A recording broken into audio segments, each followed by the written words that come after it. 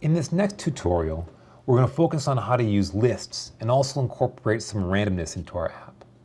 So from the Drake App Camp website, we'll still click on App Camp Part 1 and scroll down to the Magic 8 Ball section.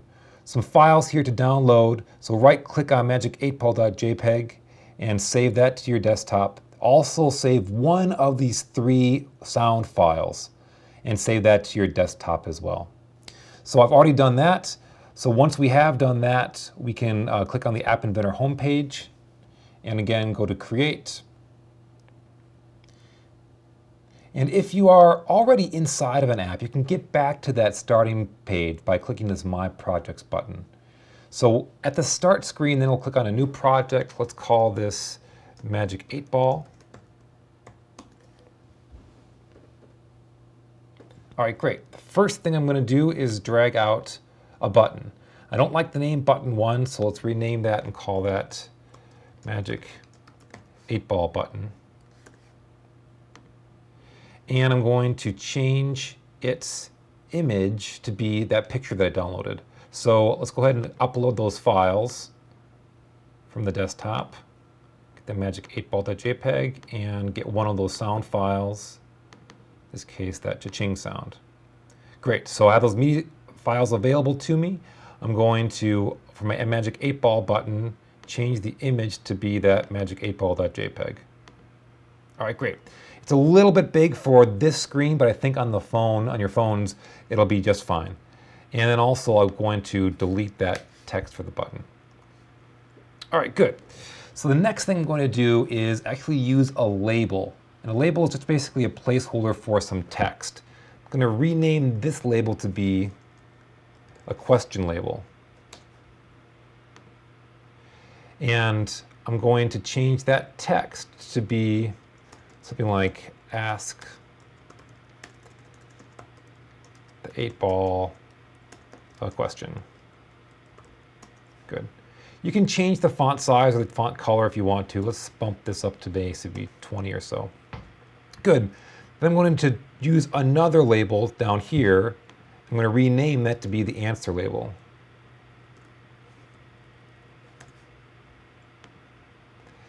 And I'm going to have the initial text for the answer label to be something like um, press 8 ball to receive an answer.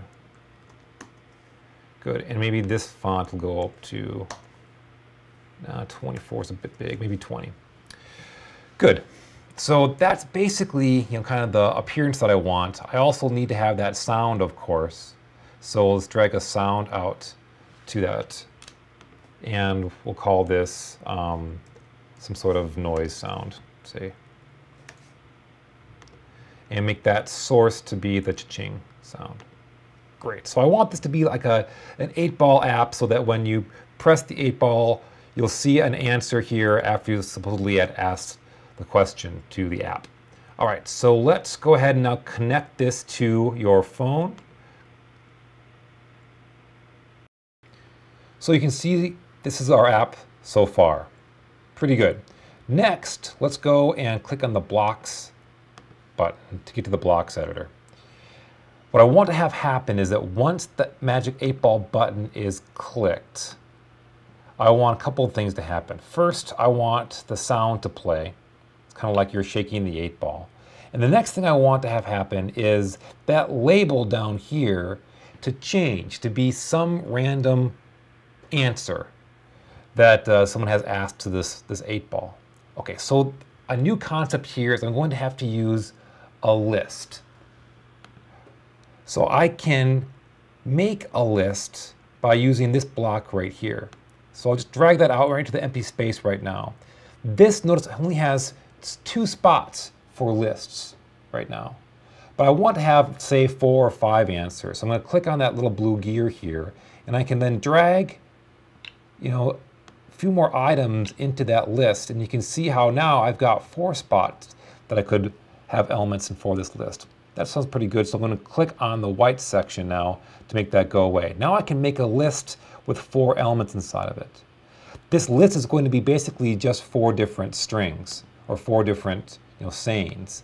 So I will have four, four these guys. And so one might be, the answer could be yes, the answer could be, say, no, and you could fill in the rest. One little shortcut here is this takes a lot of clicking and dragging, but if I just click the white space on the background and start typing something,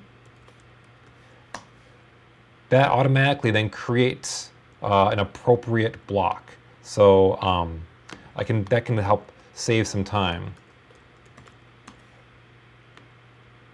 when you're coding like this. Great, so this is going to make a list. Good. But what I want to have happen is that element of that list to change this thing, this label down here. That label known as the answer label. So I'm going to click on the answer label and notice there's lots of different object, uh, options here. I want to set that answer label's text to be one of the elements from that list. And so I'm going to find this block here that says set answer label dot text and drag that out.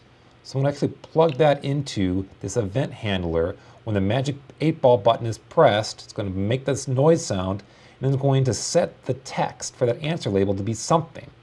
Now I can't quite just plug in the, the list here because I need to select one of these elements from that list. So if I go to this list drawer again, I'm going to pick a random item from that list, like so.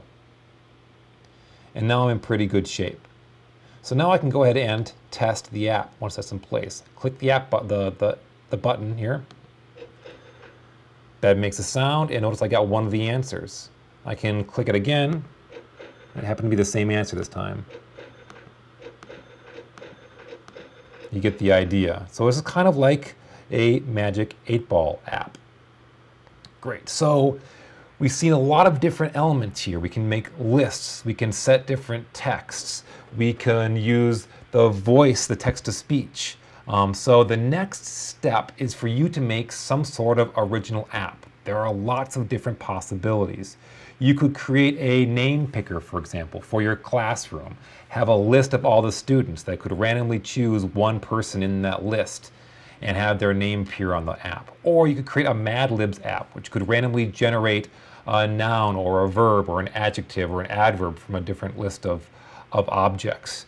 Um, you could have use the, the text to speech to actually speak out the answers for your apps. So lots of different possibilities. The next step is to, after you're done making that Magic 8 Ball app, to go ahead and make an original app. Have at it.